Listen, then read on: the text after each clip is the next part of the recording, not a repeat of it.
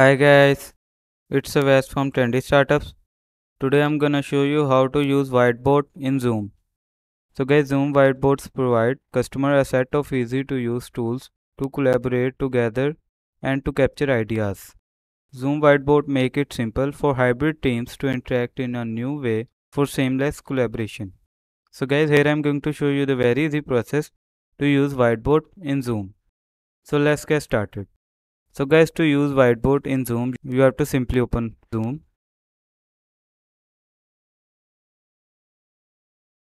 Now in Zoom, you can see the option of new meeting. Click on new meeting. Uh, so guys, here you can see two options, join with computer audio or test speaker and microphone.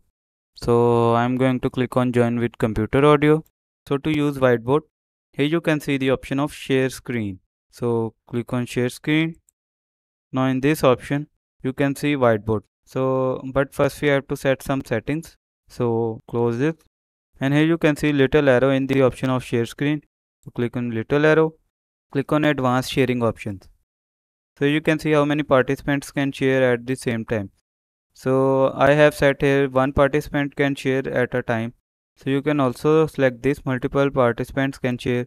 Or here you can see who can share. Here i've set host only we can also select this all participants but I have select here host only. So close this and now again click on share screen. Now select whiteboard and click on share. So guys here you can see our whiteboard. So type anything.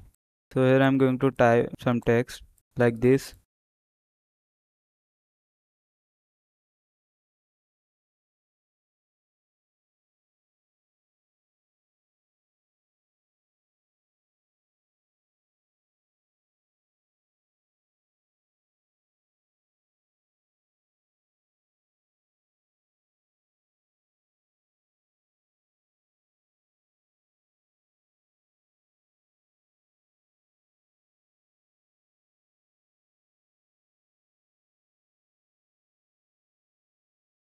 So guys here you can see we have used the whiteboard in Zoom.